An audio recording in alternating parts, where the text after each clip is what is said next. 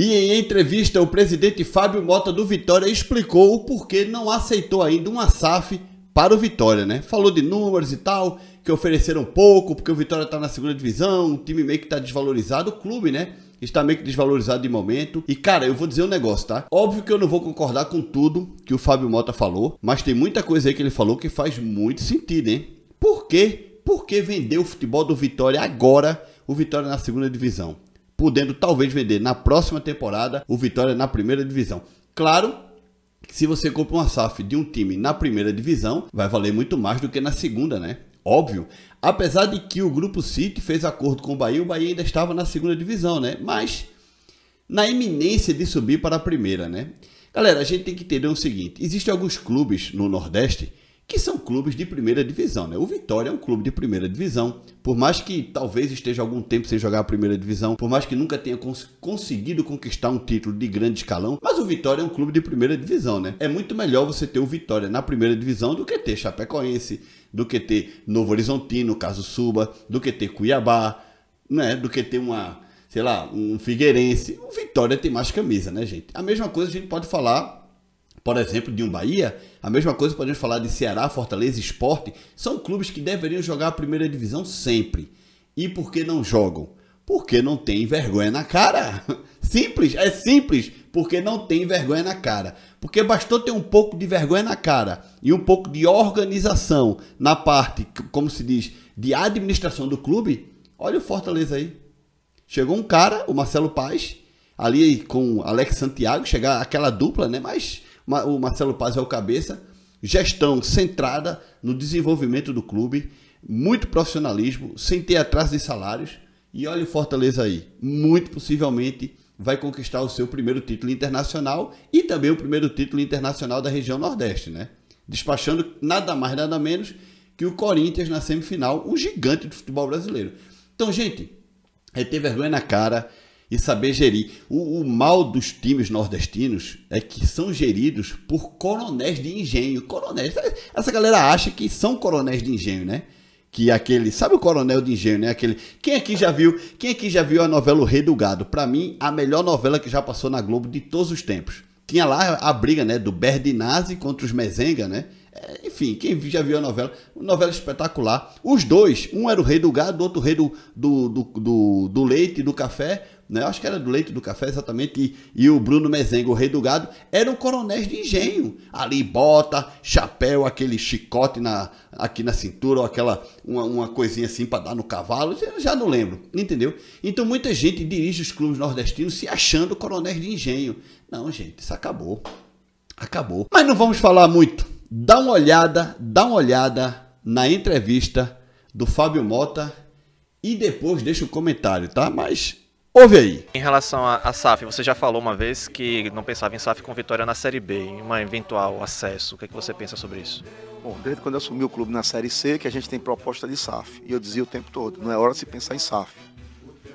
Porque a imagem, a marca está desvalorizada, o que a gente achou lá atrás, e as propostas eram de 200 milhões. Imagine se você tivesse vendido o Vitória na Série C por 200 milhões, uma instituição hoje que com certeza vale mais de 5 bilhões só quem tinha ganho é quem tinha comprado.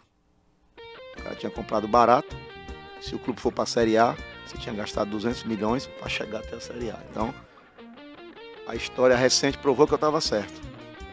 Eu nunca disse que eu sou contra a SAF. Eu sou contra os modelos de SAF que foram feitos no Brasil.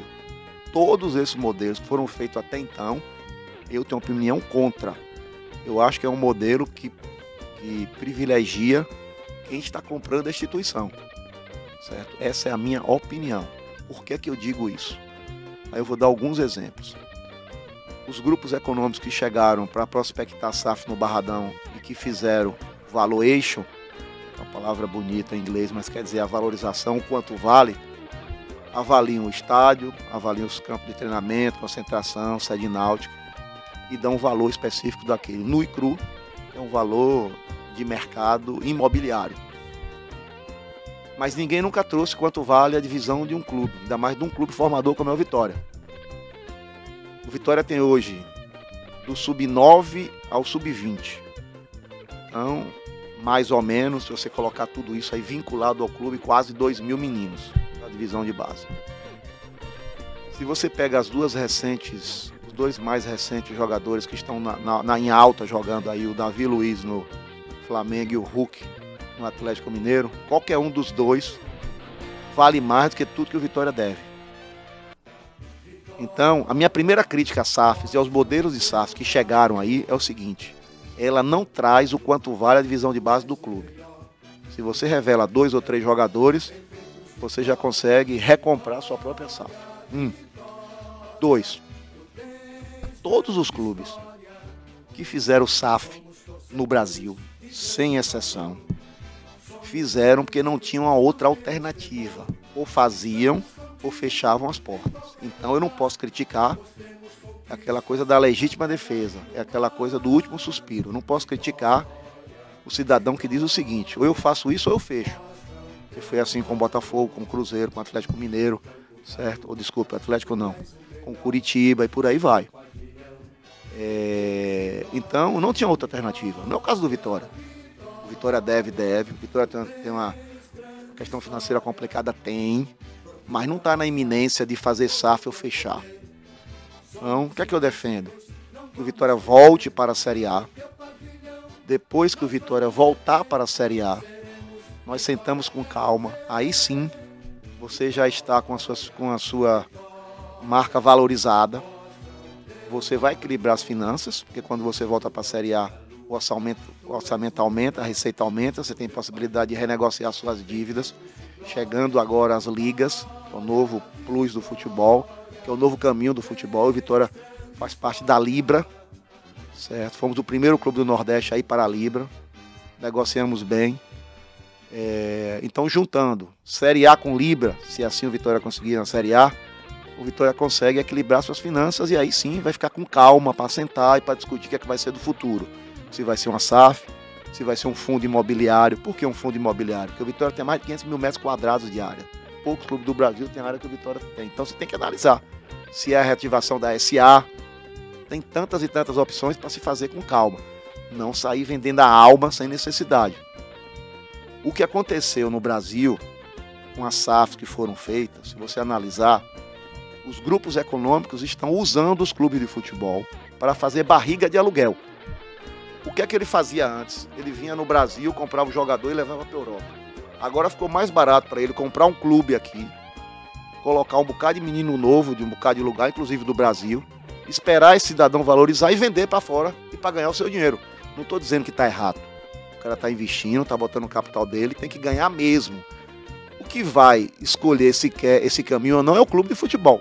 O Vitória, nesse caminho agora e nessa forma, não vai. Tá? Então, é, é, repito, eu não sou contra a SAF, eu sou contra todo esse modelo de SAF que aí estão. Por quê?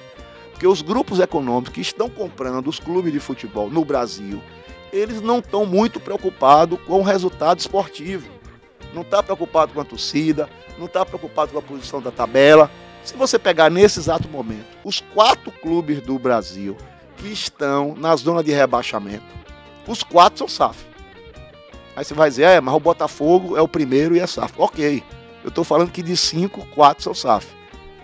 Então, esses modelos eu acho equivocado. Muito equivocado, certo? Eu acho que a gente tem que discutir isso mais. Eu sou muito simpático do modelo que o Fortaleza está fazendo como SAF. O que é que o Fortaleza fez?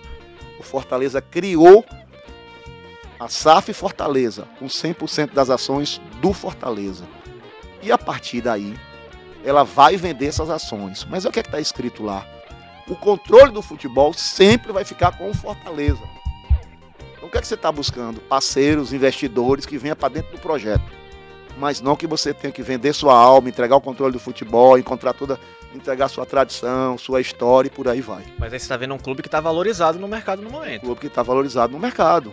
Mas poder de barganha é diferente. Sim, por isso que eu, no, início da conversa, o que é que eu disse para você? Para discutir SAF, você tem que estar na Série A.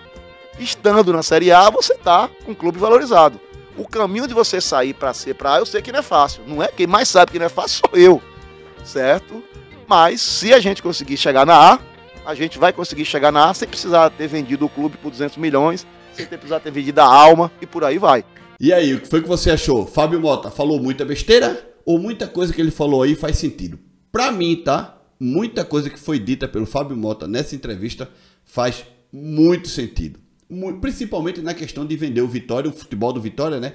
O Vitória na Série C ou na Série B. Não, gente, segura, segura. Nesse quesito, o Fábio Mota está certíssimo. Agora, se o Vitória terá a maior SAF do Brasil, aí não sabemos, né? Ele falou aí também de vender o futebol do Vitória para grupos imobiliários, né? Já que o Vitória tem muito terreno e tal. Enfim, não sou a pessoa certa para falar sobre isso, nem para opinar, porque eu não conheço realmente o patrimônio do Vitória, né? Muita gente pensa que o Vitória só tem ali o Barradão e tudo mais, mas não. Talvez tenha terrenos por aí, né? Enfim, a gente não sabe, tá? O Fábio Mota sabe de certeza. Mas enfim, deixa aqui a tua opinião. E aí, a futura SAF do Vitória será maior do que a SAF do Bahia? Deixa like nesse vídeo, se inscreve no canal. Tchau, galera!